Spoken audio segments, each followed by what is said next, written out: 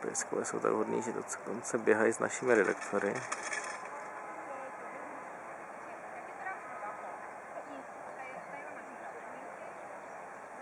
Dostávají pamlsky pravidelně.